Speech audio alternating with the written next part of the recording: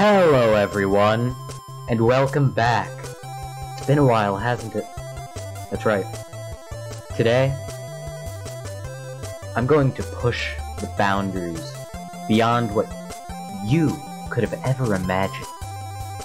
I'm playing Frog Fractions, Game of the Decade Edition. I'm gonna learn how to type today.